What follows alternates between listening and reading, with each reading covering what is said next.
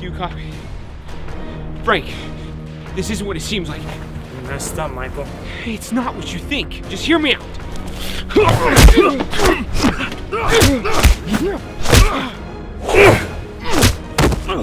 I don't want to fight you.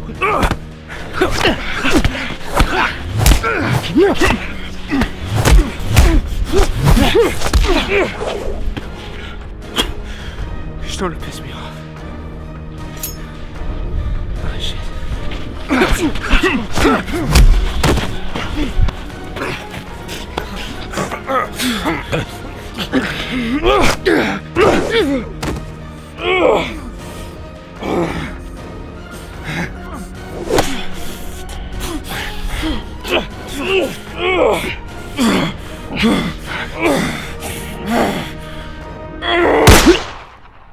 How's it going, Mark?